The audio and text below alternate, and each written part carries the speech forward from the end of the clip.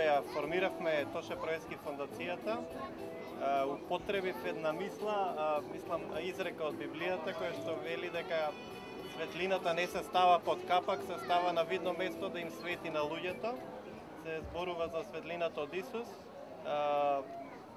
нашиот Господ, но таа светлина кога ја придобиваме и неограничена љубов, едноставно сме повикани да ја споделуваме несебично, значи да ја даваме на луѓето околу нас. Ана имав можност да ја запознам како навистина секогаш насмејана, секогаш хумана и драго ми е што Бог не споил на иста насока. Драго ми е што имав можност да ги запознам Неизе и Лиде. Денеска не се слави смртта овде, туку се слави животот, заради тоа што сите ние треба да веруваме во животот, а Исус Христос е Господ и е живот. И никој не доаѓа при Отецот освен преку Христоса. И кога вака зборувам, ги прашувам луѓето, верувате ли во Господ? Сите ми велат да. Но, кога ќе дојде мигот на тага и на жалост, тогаш доаѓа клучното прашање дали ти го прими Исус Христос за твој Господ и Спасител. Зашто ако, ако си го примил, тогаш ти продолжуваш и живееш. И на крајот му нема крај, туку е вечен живот.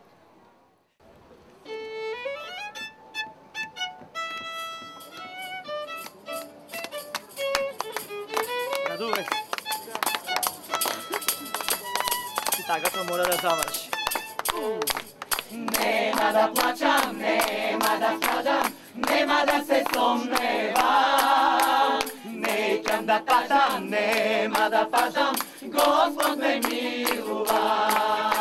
Нема да плачам, нема да страдам, нема да се сомневам. Господ ме милува. Радувај се, радувај се, во молитва на смени се,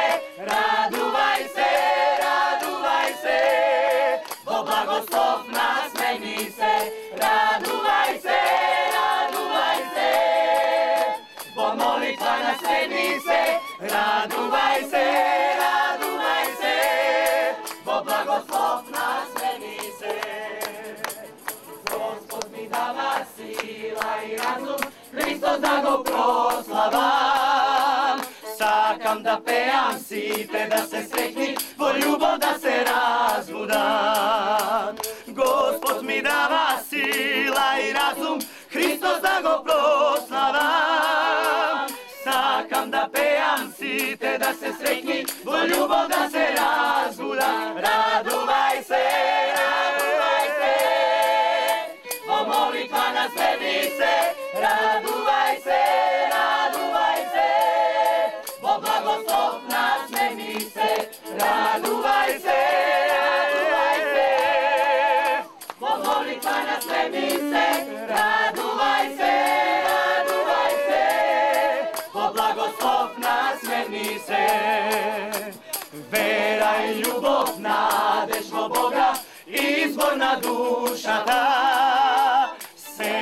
milost milost mene začna, Hristo da go proslavam. Vera i ljubav nadešlo Boga, izvorna duša da. Semena milost mene začna, Hristo da go proslavam.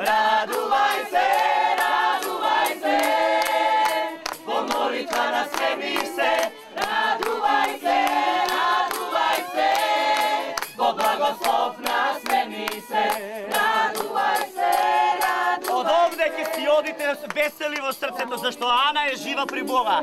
Заедно, радувај се, радувај се, во молитва на смени се, радувај се, радувај се, во благослов на смени се, радувај се, радувај се, во молитва на смени се, радувај